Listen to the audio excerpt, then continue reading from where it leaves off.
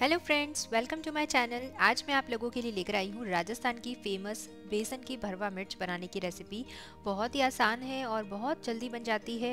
10 से 15 मिनट में सब्ज़ी बन के तैयार हो जाती है, लेकिन खाने में इतनी टेस्टी लगती है कि आप एक बार ट्राई ज़रूर करिए।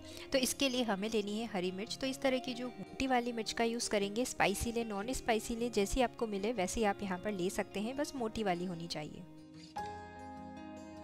इस तरह से इसके ऊपर का जो सिरा होता है उसे काट लेंगे, बीच में एक चीरा लगाएँगे और जो बीज है उसे निकाल देंगे। बीजों को अगर आप रखेंगे तो एक तो स्टफिंग अच्छे से नहीं होगी और साथ में मिर्ची जो है काफ़ी ज़्यादा स्पाइसी लगती है। तो इस तरह से बीज निकाल दें। थोड़े बहुत बीज रह जाएँ तो कोई बात नहीं। अब हम यहाँ पर इसके लिए गोल बना लेंगे। तो बेसन लेना है चार से पाँच बड़े चम्मच या जितना आप चाहें।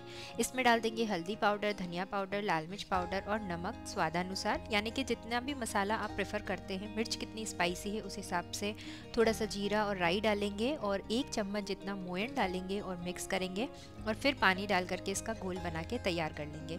तो आप कितना ड्राई बेसन भी साथ में चाहते हैं, उस हिसाब से आप यहाँ पर बेसन की जो क्वांटिटी है वो कम ज़्यादा कर सकते हैं। और थोड़ा थोड़ा पानी डालना है, बहुत पतला घोल नहीं बनाना है स्टफिंग करनी है तो घोल बहुत ज़्यादा गाढ़ा भी नहीं होना चाहिए। ज़्यादा गाढ़ा होगा तो खाने में ड्राई सा लगेगा, फंसेगा गले के अंदर और अगर बहुत ज़्यादा लिक्विड हो जाएगा तो सारा बेसन की मिर्च में से बाहर निकल जाएगा।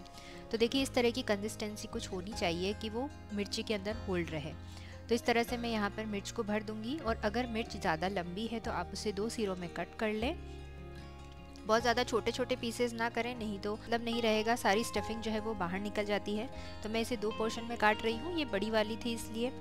और इसके बाद जो थोड़ा बेसन ये बचा है, अभी ये पतला है। हमें इसमें थोड़ा बेसन और ऐड करेंगे, थोड़े से मसाले भी और ऐड कर देंगे और इसके बाद इसका थोड़ा सा गाढ़ा गोल बनाएँगे। ऐसा गोल कि जो रनी नहीं हो मतलब हम इसे क्या करने वाले हैं, इस बेसन को हम अलग तरीके से थोड़ा सा पकाएँगे। तो इसके लिए हमें क्या करना है, इसे थोड़ा सा गाढ़ा ही रखना है। ये क्वान्टिटी आप बढ़ा भी सकते हैं, जैसा कि मैंने आपको बोला, जैसे किसी को ग्रेवी ज़्यादा चाहिए होती है सब्ज़ी में, वैसे ही यहाँ पर जो ये ड्राई बेसन है, जो एक्स्ट्रा बेसन हम यूज़ कर देंगे, वो कम ज़्यादा कर सकते हैं। अब हम यहाँ पर एक पैन लेंगे, इसमें एक टेबल स्पून तेल गरम करेंगे, हींग डाल देंगे और जो मिर्च है उसे इस तरीके से इसके अंदर रख देंगे।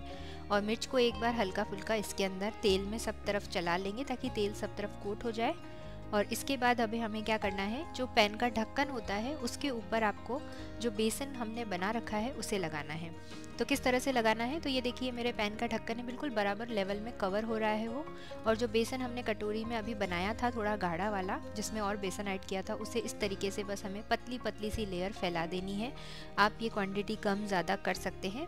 और इस तरीके से फैलाएँगे तो ये बिल्कुल गिरना नहीं चाहिए, रनी बेसन नहीं होना चाहिए। गिर जाएगा तो सारा पैन में आ जाएगा और वो बेसन क्या होगा धीरे धीरे मिर्ची के साथ साथ जलने लगेगा। तो हमें यहाँ पर एकदम अच्छा से बिल्कुल जला हुआ बेसन नहीं चाहिए तो इस तरह से आप ढक्कन पर चिपकाएँ। आप कोई भी कढ़ाई ले लें उस पर भी लेवल का ढक्कन लें, उस पर चिपका सकते हैं और बस मिर्च को अच्छे से उलट पुलट के, जब तक कि वो अच्छे से सॉफ्ट नहीं हो जाती, तब तक हमें इसे पका लेना है।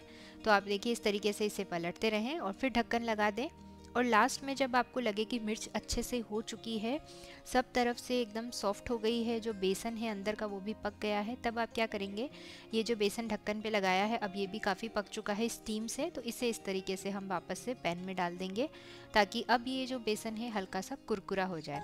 अगर आप स्टार्टिंग में ही बेसन इसमें डाल देते हैं तो वो कुरकुरा नहीं होता है, और अगर इस तरीके से आप चिपका करके आप सोच रहे हो कि चिपकाने की क्या ज़रूरत है? डायरेक्ट बेसन लास्ट में ऐड कर सकते हैं, पर वो बेसन जो होगा, उसमें गुटले बन जाते हैं। इस तरीके से अगर डालते हैं तो बेसन जो है अच्छा खिला खिला रहता है।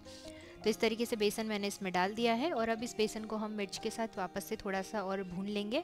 थोड़ा सा ये खुला खुला हो जाएगा, कुरकुरा हो जाएगा। तो फिर से मिक्स करके ढक्कन लगा देंगे और इसे पकने देंगे। तो देखिए, अब बहुत अच्छे से बेसन भी हमारा अच्छे से खिला खिला हो गया है। बिल्कुल भी कुछ भी जला नहीं है और इसमें अब इस तरह से एक बार चाकू डाल के चेक कर लेंगे। चाकू एकदम क्लीन बाहर आया है, बेसन की कोटिंग नहीं आई है साथ में, इसका मतलब सब कुछ अच्छे से पक चुका है। जब सब कुछ पक जाएगा, तब लास्ट में अमचूर पाउडर डाल, थोड़ा सा खट्टापन आएगा, अमचूर नहीं है तो थोड़ा नींबू का रस डाल दें और बस गैस बंद कर दें, पाँच मिनट के लिए ढक करके छोड़ दें, उसके बाद इसे आप सर्व करिए।